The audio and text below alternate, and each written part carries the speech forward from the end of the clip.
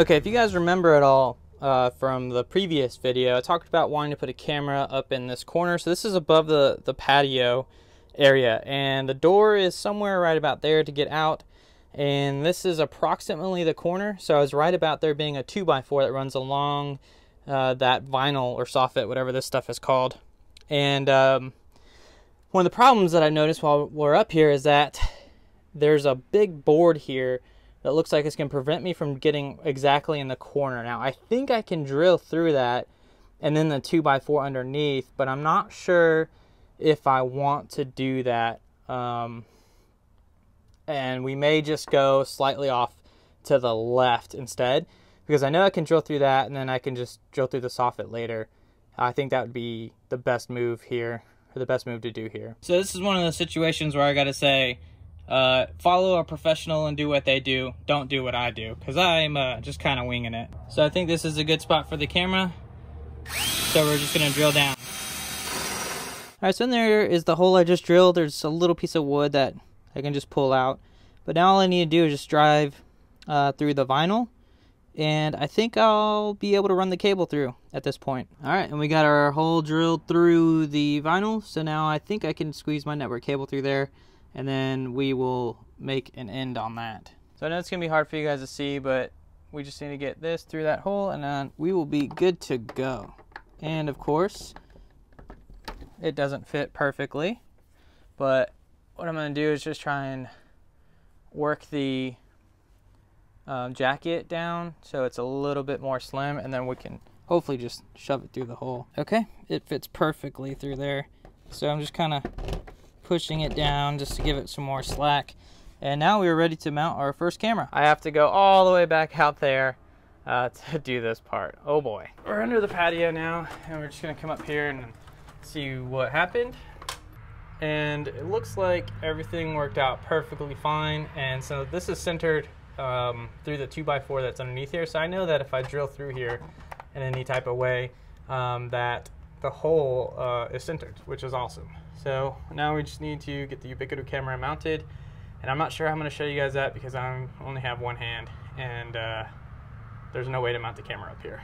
So we're basically going to do is just put that through there and then line it up about like that. So there's two holes right there. And then we're going to mark where those holes are and then take a drill to it. Um, and I think that's about the only way I'm going to be able to mount this thing. Uh, and I won't be able to record it. So I just want to give you guys an idea of what I'm going to do though. Alright, I got my two uh, points drilled and then I'm going to use this, whatever size this is, to drill my pilot holes and then we're going to screw it in. Well bam, and it's mounted up there. And so I think that'll hold. It's a little loose, but I think it'll be alright, uh, in my opinion. And now we just need to make our cable and we'll have our camera mounted and then we need to make the other end and it's ready to go. There we go. Camera's mounted up there almost in the perfect corner. We'll probably play around with this exact uh, position once we uh, get it connected on the other end to the rack. Uh, so yeah, I pulled all the slack through and we should have plenty of slack to make mistakes as well as, uh, I don't know, do all sorts of things. So it's going to be like that for now and then we'll do some readjusting later as needed. In the poorest fashion possible, UVC G3 camera popped up on my network about 21 seconds ago. So that means it's connected. Now all we have to do is do the other one at the front of the house and we'll be done. All right, sorry for the bad sound. I left the microphone downstairs, so you'll just have to put up with this.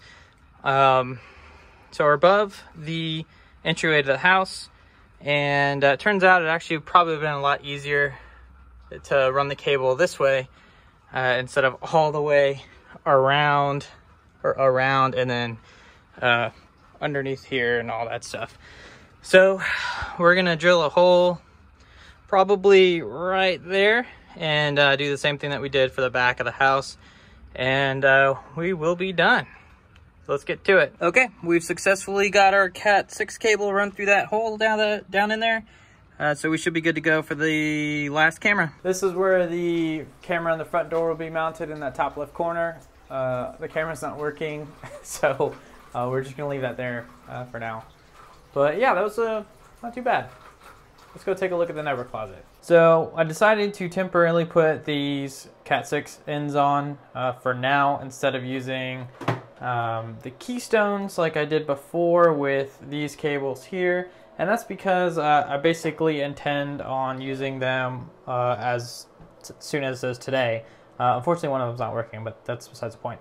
Um, so what we'll do is when we get the network rack, and if we put it over here, over here, or even up there, um, we'll cut these heads off, and then we'll um, put them in the patch panel. So patch panel will have something that's like a keystone in there, and then that will be how they are forever done. Well, we pretty much finished up, but one of the Ubiquiti cameras is dead. I'm not really sure why it's dead. Um, I'm, I don't know, I could have done something wrong, but anyway, it's dead. So we're gonna submit for an RMA on that one, and then hopefully we can get a replacement. Uh, but this project's pretty much done, and um, I don't really know what else there is to say about it. Everything's, well, not everything. The, la- the one camera that is up and installed is running and is working perfectly fine. So it'll be a while until we can get a replacement for this. But uh, yeah, that was, uh, I'd say about on the scale of medium, mostly because, you know, I'm a novice and I've never done this before. Uh, but with a little bit more practice, I'd say it's pretty easy, uh, at least in this house, because I have really tall attics and lots of other sweet perks. But anyway, guys, hope you enjoyed this video, and I'll see you all next time.